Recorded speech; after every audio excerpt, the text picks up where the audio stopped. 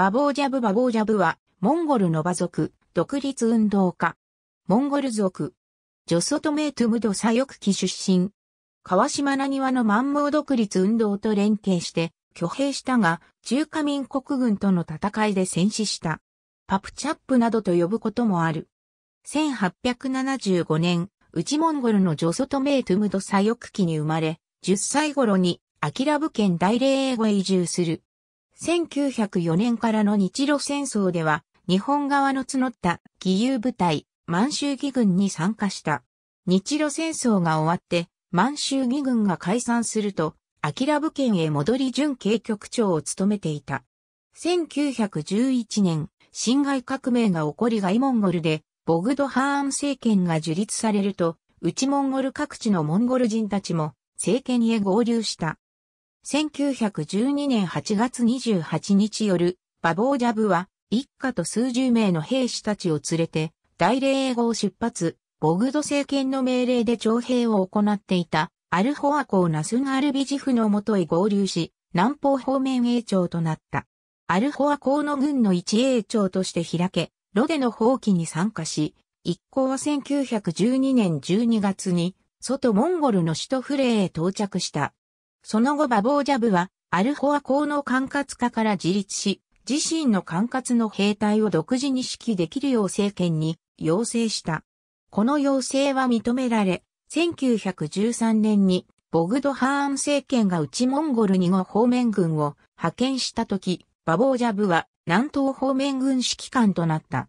内モンゴルへ戻ってきたバボージャブは中華民国軍と戦った功績により政権から陳国公の爵位を受けた。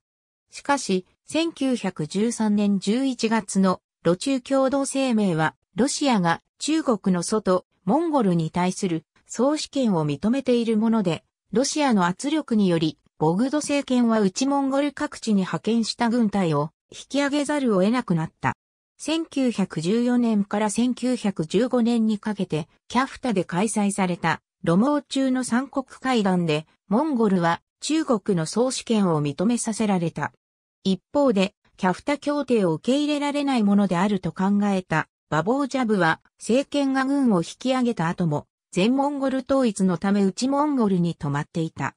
ボグド政権はロシアや中国の支援を得るために今度はバボージャブに対して討伐軍を派遣しなければならなかった。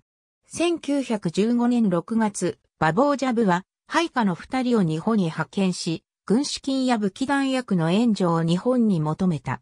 また、新朝の副壁を目指す、奏者等とも手を結んだ。馬房ジャブの要請に対して、川島なにわが、その援助に乗り出した。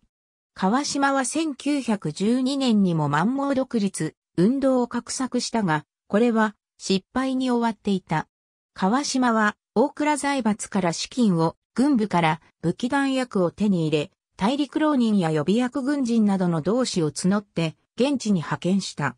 1916年7月下旬、春葉川下藩から法典を目指して南下した馬房ジャブ軍は張作林軍との戦闘を開始し、激戦が1週間続いた。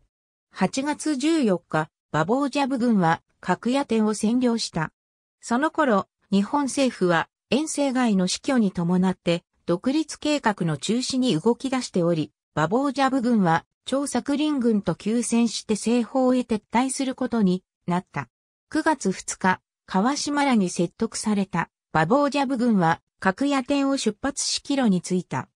途中、各地で超作林軍との戦闘を続けながら、10月初めに、林西に到達した。林西は内モンゴルへの入り口で、その北には本拠地のウジモチンがある。林西条への攻撃を開始したバボージャブ軍は初戦で勝利し、10月8日、これを見たバボージャブは手勢300機を率いて敵陣地へ騎馬突撃を行った。その際、機関銃の操作を受け、左肩に弾丸が命中してバボージャブは戦死した。バボージャブ軍は12月に内モンゴルへたどり着き、後に解散した。ありがとうございます。